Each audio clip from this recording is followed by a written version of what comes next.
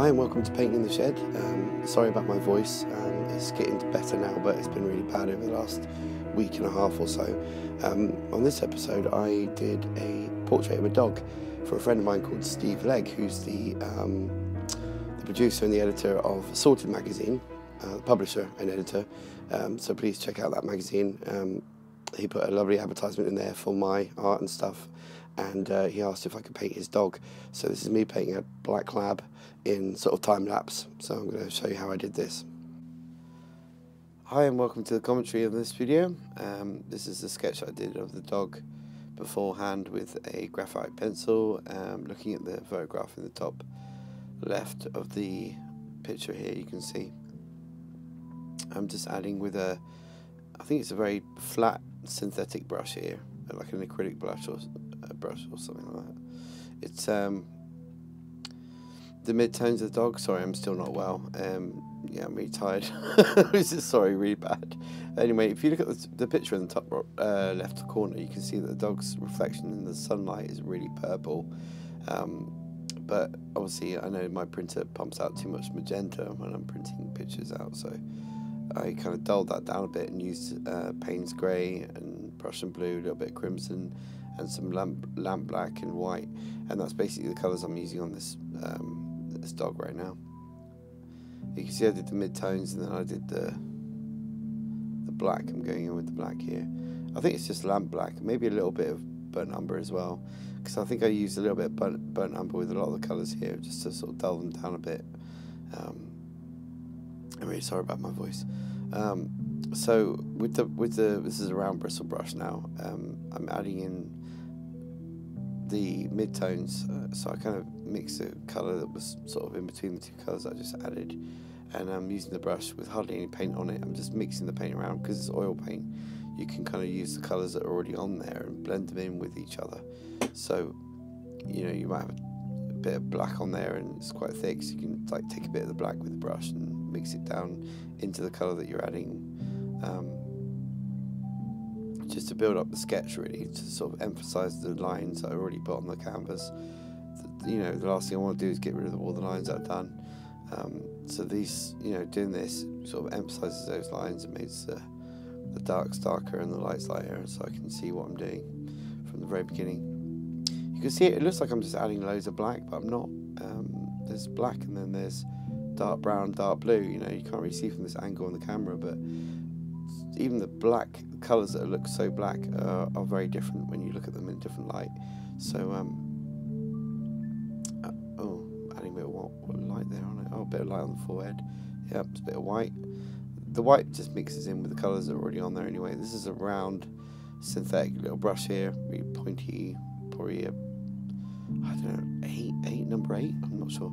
Um, but here I'm just using a bit of white and literally pulling the colour from the rest of the dog. You know, I've already got loads of colour on the picture. I think with the nose I added more Prussian blue to make it stand out differently from the rest of the dog, so I had less um, crimson. I think I put crimson and blue in the rest of the dog, but on the nose I didn't. Just had the blue and the and the white and the black, and that kind of made the nose slightly different colour than the rest of the dog, just to make it stand out a little bit more. And you can see here I'm using the brush to pull that black from the eyes and just blend it into the rest of the eye. And that's what you do with oil paint. You know, you've already got the colour on there. You're just pulling it from one place to another, um, and blending it all in together. Uh, I think that's what you can do with oil paint as opposed to acrylic, is you can just keep um, mixing the colours around until you get the right tone that you want.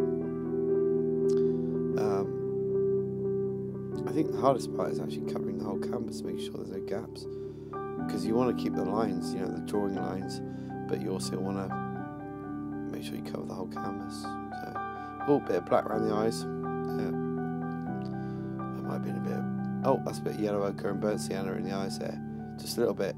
I was looking at the photograph all the time. You see where I pause here? Just to pause. Yeah, there. And pause again. Yeah, there. That's me looking at the photograph and actually copying it. So you want to make sure you're looking at the photograph all the time. It's right next to you. Stick it as close as you can to the canvas, so you can actually look from like really quickly from one to the other. There's no point in having the photograph in your hand or a million miles away from where you're painting. Have it right next to the canvas, so you can literally go from one to the other. Um, unless of course you're a real artist and you paint the dog in real life, which good luck with that. Um, so yeah, uh, this is I think this is burnt umber and black because I wanted sort of not quite like black black, but I wanted like kind of a warm black with the eyes. Um, so that's the dark bit. And then I used a bit of white here. I'm putting colour in from the rest of the dog as well. You can see like when you when you paint with oils, it kind of blends in anyway. You know, I'm wiping off the brush there on the side of the canvas, and I'm I, often I've got a bit of colour. Like I think I've got a bit of white up there in the top right on the actual canvas. I can pick it straight from the canvas onto the, the picture without you know going back to the palette and spending all that time doing that. So I'm doing the the white in the eye, and um, yeah, it, I did alright the first time around. I think I think I let it dry for a little bit, then went back and hit it again. Um, but that was okay for now, you know. Um, it's really difficult. Like animals' eyes are so much difficult, uh, well, different from human eyes, um, because they don't have all the colour and all the white and all that in the eyes. They just have the black and the the colour and the reflection. Ah, spitting white on the nose. Um, yeah, animals. You definitely want white in the eyes. You definitely want a little bit of wet nose as well. Like not really wet because obviously it means the dog's not well. So you want a little bit of wet in the nose here, and that's just white basically, just white with a little round synthetic brush. Um, just add that bit of life to the nose. It looks alright, I suppose. Um, it's a fan brush. Uh, I'm using the same white, a little bit of Prussian blue, possibly a bit of crimson in there, and black as well. Just going back and back and forward with those colours to kind of fill in the rest of it. Like I start off too light with the whole picture, but I sort of add the dark on as I go. With the background here, I'm just literally using the same colours I used for the dog, including the brown and all that. Wiping off this big brush here and just going in and filling it all in, putting dark against the light on the dog and putting the light against the dark on the dog, basically. So if there's a, a dark bit on the dog, you just match it with a bit of light. And apart from the bottom there, which I blended in with the background, you see the bottom of the canvas, it's just all blended in. The dog sort of disappears into nowhere. Um, and here I'm going back with the eyes. Just because the eyes are most important part of the, of the dog portrait, any portrait basically, uh, are the eyes. So it'd be like that. I just wanted to take a little break now, and um, I went into the woods and I went for a little walk and did some sketching of um, some trees, and I just wanted to show you this little bit here.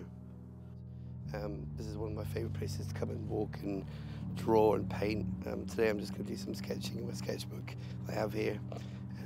As you can see, it's a beautiful autumn day, and I've still got my cold, so I'm finding it hard to, uh, to speak at the moment. But uh, anyway, hope you enjoy watching this little video. You can see this tree here, one through there. That's actually, um, I've used that tree a few times in a few of my paintings, including um, my brother used it for um, the movie that we're making. He made it into a poster. So that's actually the tree there.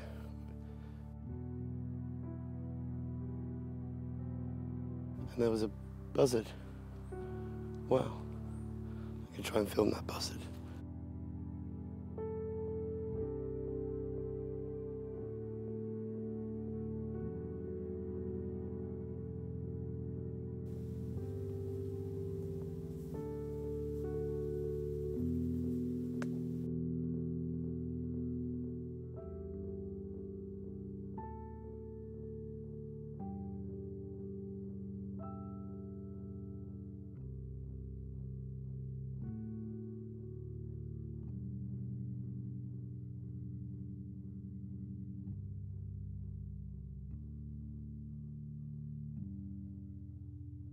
I'm losing my voice, as you can hear. Uh, the sun's just gone in.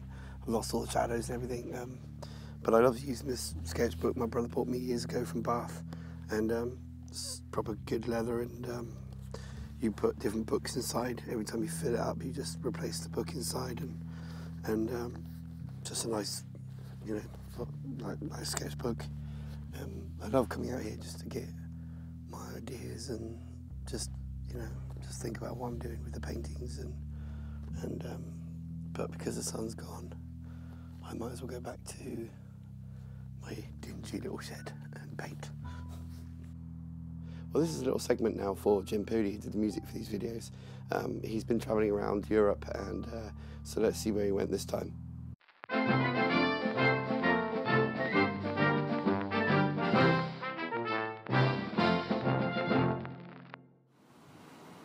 Hello, this is Jim taking another look at one of Ollie's paintings. Today I'm in uh, beautiful Barcelona, wonderful place. If you're interested in early church frescoes, uh, the works of Picasso, Miro, or um, any of the architecture by Gaudi, this is definitely the right place to come. So yeah, great place for that sort of stuff. Ollie sent me another picture to review. Unfortunately, I forgot to save it to my phone before coming out today, but I'm not going to let that stop me. So here goes. I'm assuming that it's probably got a couple of angels in it. I'm assuming it's probably also got a few people in it, maybe with really long shadows, probably a never ending wood. Maybe he's used sort of the normal palette of colours, so burnt umber, um, lots of earthy tones. So yeah, Anyway, hopefully we'll have something else to review again very soon. Thanks for that, Jim. Uh, lovely to see. Um, don't forget, you can order my calendar online. This is the one that Jim improved with a pen. If you haven't seen the video to advertise this calendar, please check that out. Um, it's very funny. But um, I still got a few of these left, these calendars. And if you like my artwork, it's definitely worth um, buying one of these for someone. And um, so I'll put a link in the descriptions, or I might put a link here to buy the calendar. And um, yeah, um, please like my Facebook page and follow me on Twitter and Instagram and um, various things that I do. Sorry about the voice again, and um, I'll see you soon for a really lovely Christmas uh, edition of Painting the Shed. Take care. Bye bye.